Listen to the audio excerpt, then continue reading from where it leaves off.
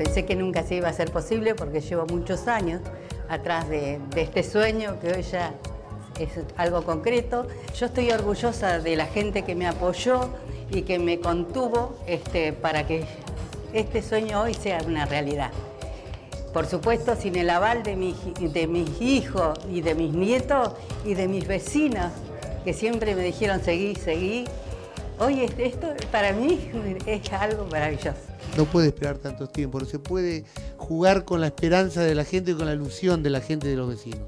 Y lo importante de esto es que en situaciones de crisis no nos detenemos. En este gobierno, obra que se firma, obra que se concluye. No se va a jugar con la ilusión y con la esperanza de la gente.